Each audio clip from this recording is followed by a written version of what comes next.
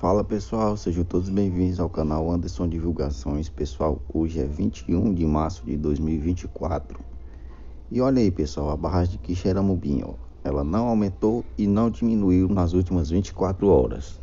Ela manteve o nível, se encontra ali na cota 101 no centímetro 27, faltando para verter 73 centímetros para poder atingir a cota máxima e sangrar, né?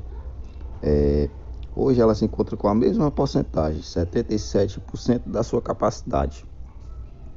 Com um volume atual de 6 milhões 150 mil metros cúbicos de água, a sua capacidade máxima é de 7 milhões 890 mil metros cúbicos de água.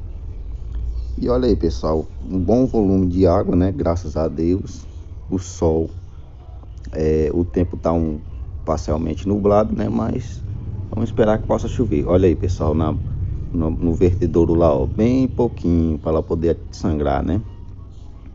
E pessoal, o fogareiro tá faltando 50 centímetros para poder sangrar. As águas do fogareiro vêm para a barragem de Quixeramobim, viu? Essa barragem aí, ó. Então, se o fogareiro sangrar, ela vai sangrar em seguida também, devido ao bom volume de água. Olha aí o clima, o tempo bem aberto. E se Deus quiser vai chover. Valeu pessoal, curta, comenta compartilha. Grande abraço a todos.